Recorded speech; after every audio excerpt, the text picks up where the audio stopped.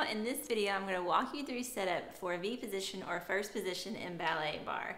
I'm going to show you some of my favorite variations that I use in my barre classes and also give you some beginner best practices so that you can really make the most of your at-home barre workouts. So I'm going to start side to my support here and I want you to go ahead and pull your feet together on your mat. Make a V with your feet, heels together. Think of a moderate slice of pie so that when you bend your knees, your knees track down right over the middle of your second toe right here. And we're gonna lift up. Heels are gonna come up at least an inch and a half. Shoot for really high heels. Make sure that when you bend those knees, they're still going right over the middle of your toe, okay? And this is your V position. Think about your ears, shoulders, rib cage, abs in, nice and tall. Ballet posture right here. Now, some of my favorite variations for this position are sort of a gliding for two, lifting for two. We're squeezing through the heel up into the inner thigh. Of course, the pulse. This is the wicked one that we usually say for the last 10 seconds of every position.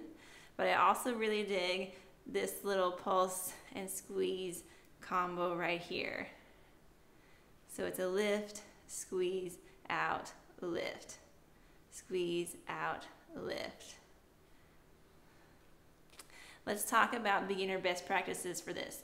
Play around with the position of your foot. If you have long, um, I should know what these bones are called, but I can't think of it right now. If you're long from your hip to your knee, you're gonna want to really focus on where those toes are. So you might need to turn out just a little bit more to feel comfortable through your knees. Also, make sure that your belly button is anchored right here under your rib cage. Have a neutral tuck in your spine.